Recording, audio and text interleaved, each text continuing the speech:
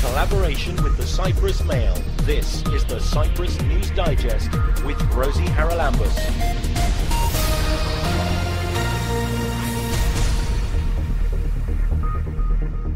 Coming up on the programme this week, we talk to the Interior Minister about plans to regulate social entrepreneurship, and there's money up for grabs if it gets passed by Parliament. And they will be eligible for all the incentives, either financial or other, included in the action plan with a budget starting from 3 million point one uh, from the social uh, social fund of the European Union we hear about the association between our olive trees and the fungi below the ground. It's very clear that the colonization of land by plants was probably only made possible by association with fungi. And we talk at length to one of the presidential candidates, independent Stavros Malas. And I will appoint at least 50% women my cabinet, at least 50%. And I will also make sure that at least 50% of women will be appointed in semi governmental organizations in the board of directors.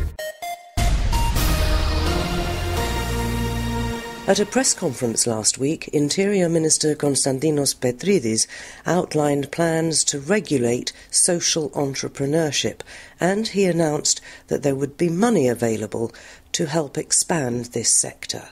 After the conference, I asked him to explain. Today presented the, an integrated policy on social entrepreneurship, which includes both uh, the submission to the Parliament of the relevant bill which for the first time in Cyprus defines what is a, a social enterprise, its responsibilities, and um, uh, the, the, second leg of this of this reform has to do with a coherent action plan, which includes uh, financial uh, incentives and financial instruments, but also other privileges that that these social enterprises could acquire just tell me, what do you, when you say you've made a definition of social enterprises, yeah. what is it? The definition of a social enterprise, basically, it's, it's an enterprise which it, it is an enterprise, but its primary objective is to serve a social objective, a social or an, an environmental objective that has to be defined. For example, if it uh, employs more than 40% of its, uh, of its employees from vulnerable groups of the population. For an example, there are hundreds and thousands uh, of different social enterprises uh, around the world. Most countries they have a legal and institutional framework. In Cyprus, there was none. While we do, we have seen examples that there are social enterprises, but they cannot really uh, facilitate smoothly and they cannot advance and grow as much as they, as they can and serve the social objective even better in the absence of, of an action plan and of a legal base. So, what difference? What difference is this going to make to? Uh, it's particularly, I would imagine, it's particularly important for non-governmental organisations. They are all non-governmental. There are no state enterprises. Okay, an NGO is something different. A social enterprise has to have an entrepreneurial activity to sell goods or services in the market. Okay, but to serve certain social objectives, either 70%, for example, of its profits or more to go not back to the shareholders, but for the special causes, the social objectives, or, as I said, to employ, for, for example, 40% or more of, the, uh, of, its employees uh, from vulnerable, uh, from vulnerable groups. Now, these, these enterprises could benefit from the label.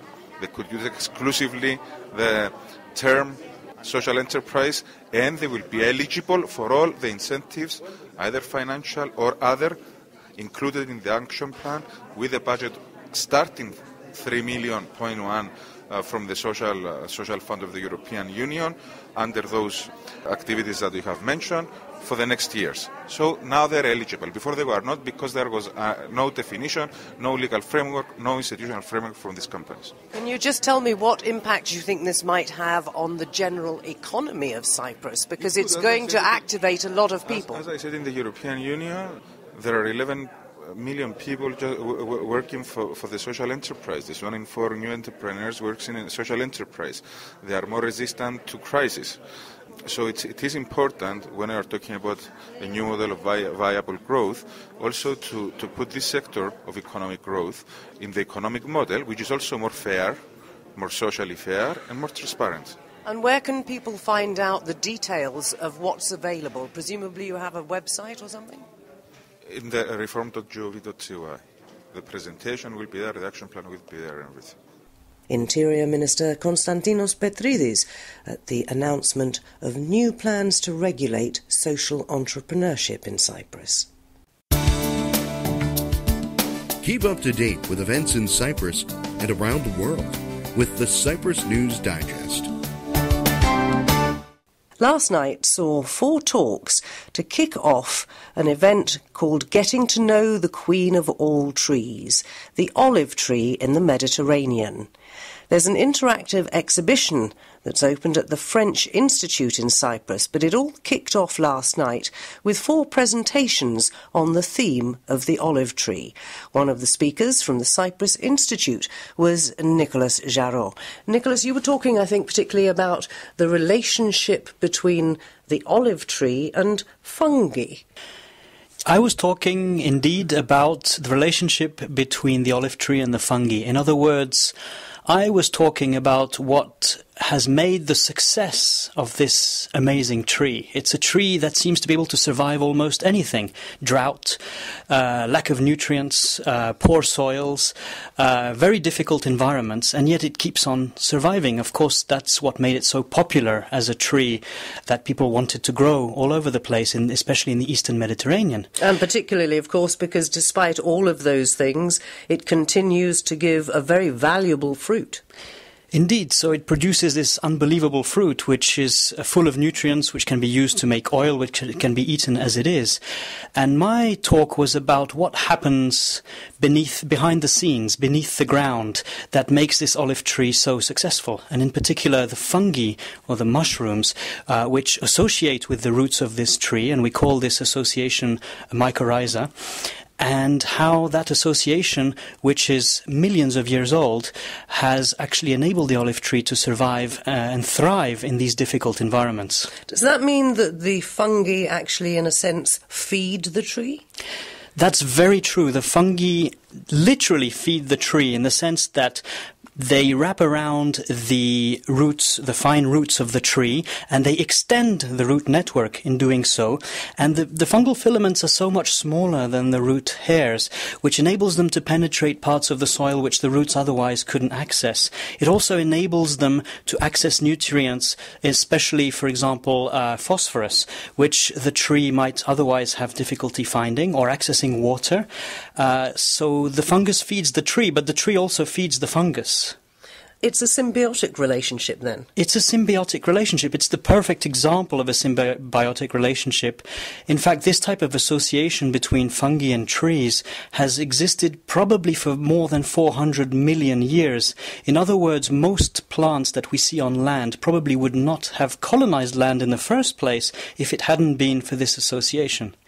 In fact, it's very clear from all the plants that we look at, that the plants that actually don't have mycorrhiza, most of them seem to have done away with it quite recently. So it's very clear that the colonization of land by plants was probably only made possible by association with fungi. And if that hadn't happened, if they hadn't met on the shores of these ancient continents, then probably the world as we know it would look very different. Probably it might have mosses, a little bit of green here and there, but this vast green vegetation that we see on all the continents except Antarctica probably would never have come into being if it hadn't been for mycorrhiza. Incidentally, uh, a lot of these fungi are actually very familiar to us. Um, all the mushrooms that people like to pick, like the red mushrooms in the forests of Cyprus in Troodos, are mycorrhizal fungi. I think it's just that most people are not aware of what's happening below the ground. But we should there add a little rejoinder, I think, that people do need to be very careful what mushrooms they do pick here. I would always ask people to be cautious when picking mushrooms. You can make very deadly decisions. And I would also urge people not to scrape the whole mountainsides when they're looking for these mushrooms, because by doing that, what they're doing is exposing the fungal mycelium and making sure that next year there won't be any mushrooms there. Now, does this apply to other tree species as well? You, you say trees in general for how many millions of years. I presume that the olive isn't unique in this. The vast majority of flowering plants, maybe more than 90%, have this type of association.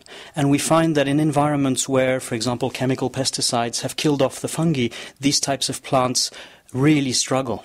Uh, the plant, of course, um, doesn't get a free meal. It has to provide food to the fungus. And the way it does that is through photosynthesis. As we know, plants produce uh, carbon sugars, and they then feed those sugars to the fungus, which itself is unable, it's below the ground, it's unable to use the energy of the sun to, to make these sugars, so it feeds those sugars to the fungus and in return it gets fed back again. It's fascinating. What other presentations were given last night about the olive tree, and then we'll talk about the exhibition? There were three other presentations one from my colleague Evi Margaritis from the Cyprus Institute, and uh, one from the Agriculture Research Institute, which deal more with the above ground success of the olive tree and, and uh, in, in agriculture, but also in, in archaeological terms. How long have olive trees been around and cultivated? By mankind, because there is also this symbiotic relationship between people and the olive trees. There was also a presentation by a French engineer, uh, agronomist, who uh, also approached this from a different angle. So it's fascinating. You can find out all about the olive tree in the Mediterranean. And don't forget, we've got some examples here on the island that are many hundreds of years old and still going strong, probably because of those fungi that we can't actually see. The interactive exhibition is in French and Greek and it will run until February the 16th. It's open on Mondays and Wednesdays from 9 until 12:30, Tuesdays and Thursdays from 9 till 12:30 and then 3 till 5:30 p.m. as well. Fridays it's open 9 a.m. to 2:30 p.m. But I'm sure if you look for the French Institute of Cyprus online, you'll get all the details there. We were talking to Nicolas Jarraud from the Cyprus Institute. This is the Cyprus News Digest with Rosie Charalambous. Well, we're just a couple of weeks away from presidential elections here in Cyprus, and I'm joined by one of the candidates, Stavros Malas. He's an independent candidate, but he is supported by AKEL. And I've come to ask him what his main priorities are going to be if he's elected. Thank you, Razi, for the opportunity to have a nice chat about uh, the future of Cyprus. Well, First of all, the main priority for me is to resume the talks and, uh, and hopefully uh, have a solution to the Cyprus problem. As I'm extremely concerned about the developments in the north. And I'm extremely concerned also that, um, unfortunately, in, in Cyprus, in, in, the south of Cyprus, the idea of uh, living separately is gaining more and more ground, and that concerns me a lot. So number one is a Cyprus problem. We're losing. We, we don't have enough time really. Um, losing time in, in, relation to resolving this issue. The second one is. Well, before you go on to the second one, can I just ask you whether you think that the Turkish Cypriots are in a frame of mind to pick up where things were left off? Well, we'll find that out. Uh, we need to um, talk to the Turkish Cypriots, that is the leadership, but I think the Turkish Cypriot society, by and large, is feeling the pressure from Turkey, the um, continuous um, movement of settlers in the north is causing really a social crisis. And uh, it's not an exaggeration to say that um, what I'm hearing recently from a lot of Turkish Cypriots is, is a cry of desperation. Uh, I've met quite a few of them, and they say, do something about it. Let's move forward. Otherwise, we're vanishing from the face of Cyprus. So and what about the attitude of the general public in the south? Because there is a suggestion, and I think it, there is probably something in it, that even if uh, President Anastasiades had come to an agreement in Crans-Montana in a referendum, the South may not have voted yes. Well, we needed to see, of course, what the end result of that uh, agreement would be. It depends what the agreement would look like, and then and then decide. Uh, but I think that um, the general public in the south are living in the so-called security of our own insecurity, and that is a dangerous state of mind, in my mind, in my opinion. And this is what I want to really uh, try and change by reviving at least hope. And in order to solve the Cyprus problem, of course, it's not enough just to revive hope. Uh, one needs to work hard to establish as much unity as possible on this one. And unity cannot be established by labeling people in a so-called pro or against solution, because I don't think that is the case. There may be some few people that made up their mind no matter what. But there's, uh, by and large, there is um, a good proportion of the society that do want a fair resolution of the Cyprus problem, fair solution, and they want to hear, and they want to hear an explanation of what we are really working on. And they also want to hear an explanation of what will, it will look like after a solution. We've never had this discussion really. We've never really done a, a simulation, if you like, in the public of what the federal solution will look like. And I, I strongly believe uh, it is in the hands of the next government to do that as well. But talking about the, the Turkish Cypriots uh, that you asked me earlier, I think the Turkish Cypriot leadership needs to um, come out and clear its position if they really want to resume the talks from where we left, uh, because the UN Secretary General is very, very clear on that. He's not going to take any other initiative. The last one he took was back in May, uh, unless the two parties jointly uh, request from him to resume the talks, and of course we need to have a good preparation on that.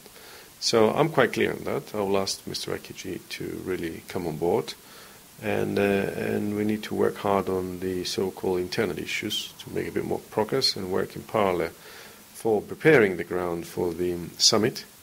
It needs to be a well-prepared summit in coordination with uh, with Greece, of course, uh, so because we cannot fail another time.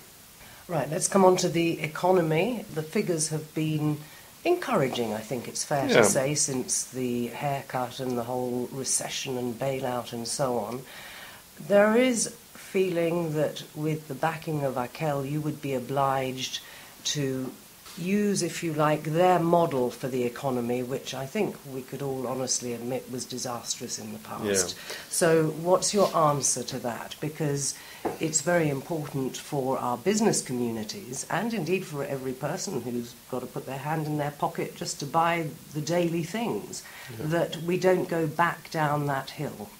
Okay, well, uh, one needs to see whether um, uh, things were so bad in the past, because if you look at the figures, despite the fact I do agree with you that the number of mistakes, serious mistakes, have been made by the previous government, but if you look at the figures, uh, the figures say that uh, in a number of sectors today we're worst off, so we've gone further down and are now coming up again. Look at the banking sector, for instance. The banking sector had 72 billion euros, and the banking sector today has 49 billion euros. It is the biggest reduction in bank deposits in the history of Cyprus. If you look at unemployment, uh, it's it's one way. Uh, you need to look at the employment, not the unemployment, and you need to look at the actual figures, the actual numbers, not the percentages. Um, yes, okay, but let's talk me, about let, the trade unions, for example. I'll, I'll talk and, about the trade about spending on public services and those sure, sort of I'll, things. I'll, I'll talk about those that. are the things that really, if we go back, and it seems we're heading down the path to going back to the unions demanding cost of living allowance and all sorts of other things that we know the state can't really afford. Sure, but you need to also have in mind that we need to have um, um, salaries that people can live in dignity. And that's not achieved, of course, through a trade union uh, agreement, or, uh, nor will it be achieved through a complete uh, abolition of any agreement that is protecting workers, right? So you can't go to the two extreme, extremes. But let me go back and say a few figures because these are important. Um, the employment, the number of people in employment, are actually less today than they were in 2012, where we had a really big crisis. I accept that. So what? What? Uh, and the one third of the population of Cyprus is below at the level of poverty. These are figures coming from the Eurostat. It's not my. These are not my figures. So what what we've seen recently, after of course the bail-in, we've seen the economy coming up again, and it has reached the level today, as we speak, of 2009. This is the level of the economy today. The GDP of the country is in 2009. But if you look at the per capita income, that is 24% less. So you have an economy of the size of the 2009, but the size of the per capita income, that is the people's pocket, is 24% less. Yes, but So this is, is- all part, is it not, of the recovery process? Well, it And is part of the with the right investment in particularly the private sector Sure. and very much in research and development, I would suggest, Which I strongly agree. that those figures will rise. Yes, they will rise, but it very much depends on the direction the government, the new government, will take the country. And I think this government is, has really assigned a lot of attention to what I call the serendipity model of a Cypriot economy. Selling a few passports, creating a casino, giving a few planning permissions, a little bit more hotels, which, which are good. But, but have we invested in people uh, in research and development? Not a single penny extra in that. How on earth are you going to repatriate thousands of people staying outside Cyprus, scientists, the brilliant minds? How are you going to reverse the brain drain that we all talk about? Cyprus has a massive advantage in that, and figures show that. It's a country that can do extremely well in that.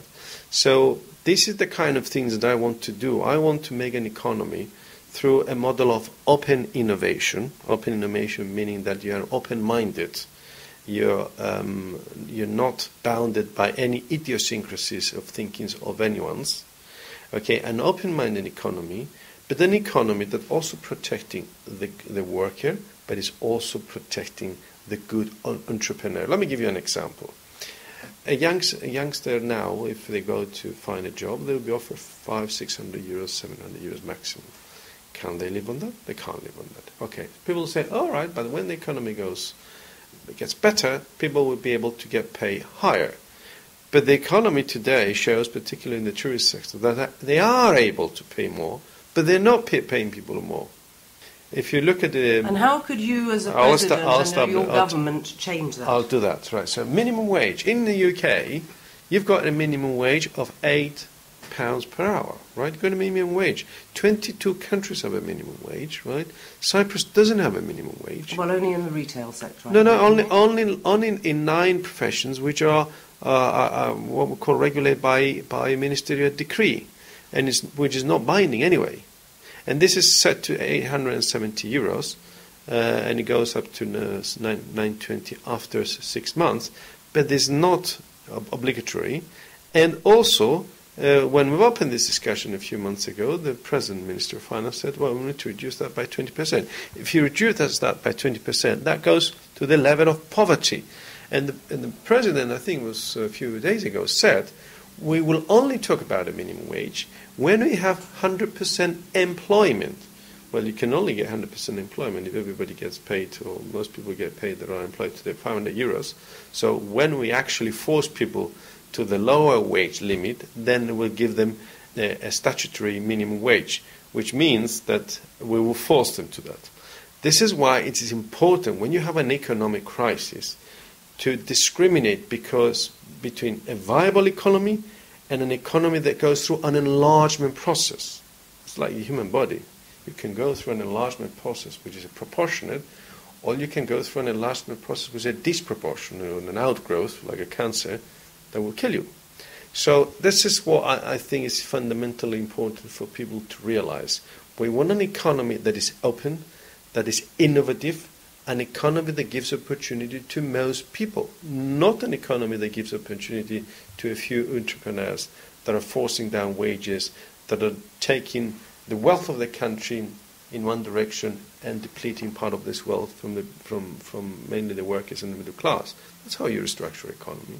Okay, but that didn't answer the question about trade unions. Well, and the as trade soon as unions- we came out of the really serious part and we got out of the bailout, then the public sector unions started again to say, we want this, we want that, we want the other. Read my lips, as they say.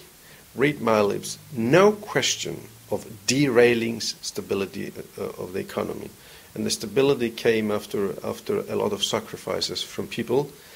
No compromises on that. Okay.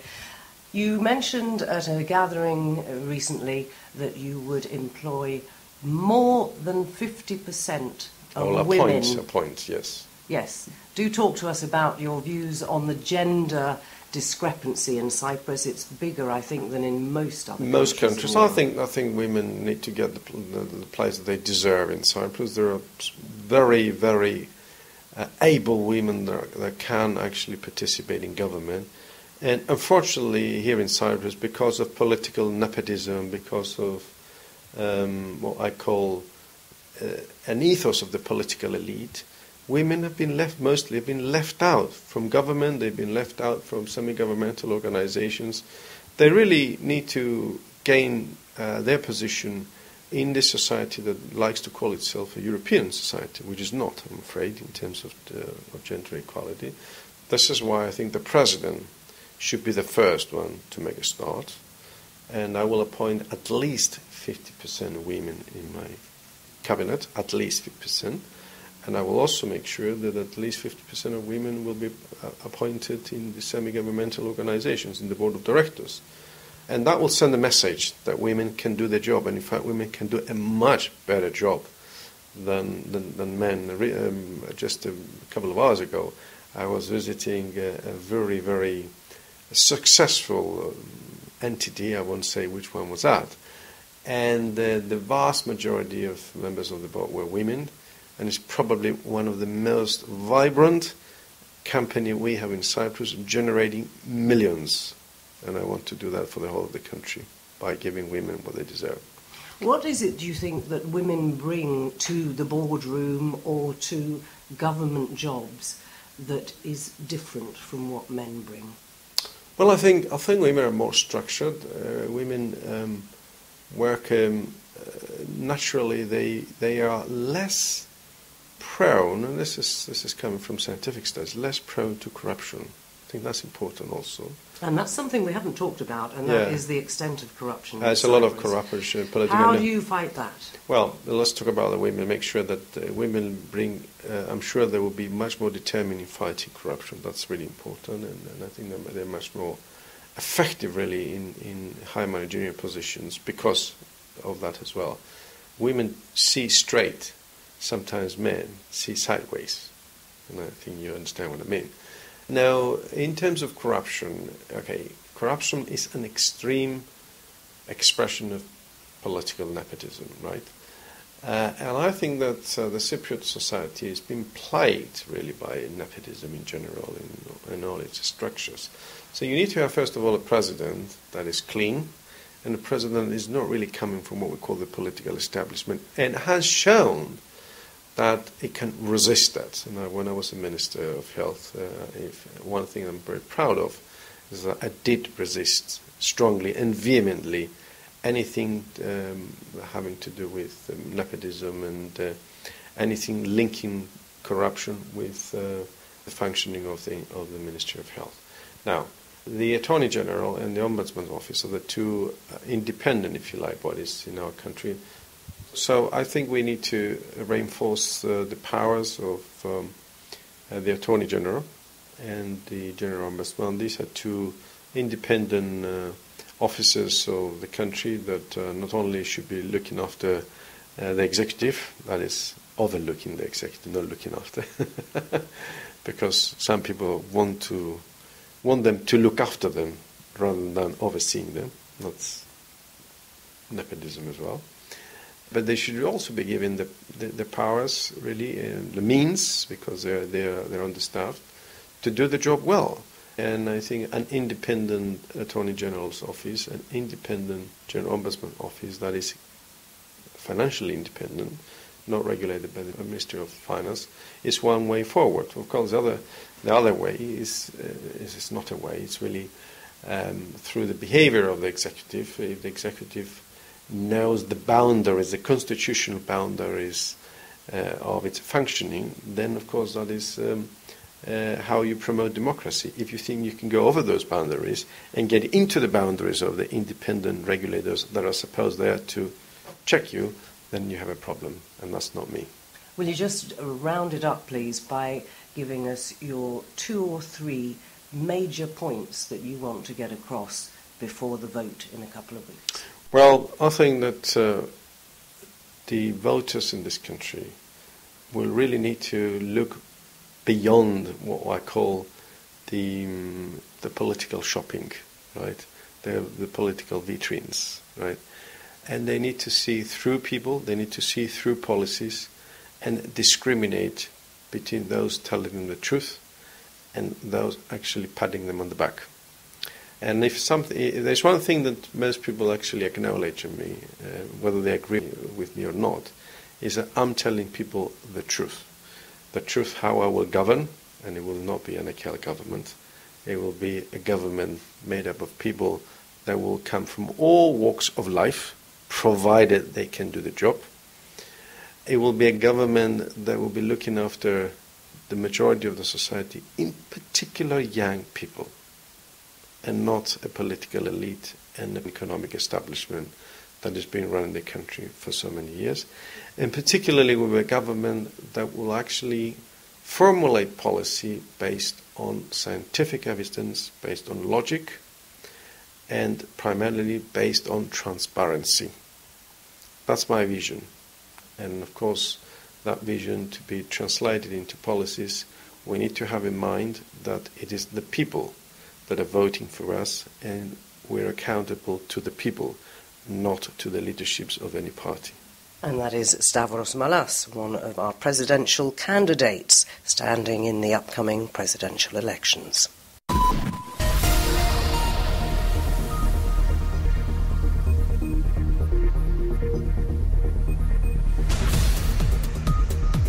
Well, that about wraps up this edition of the Cyprus News Digest. Many thanks for your company. Hope you'll join me next week. Till we meet again, take care and God bless. Bye bye now.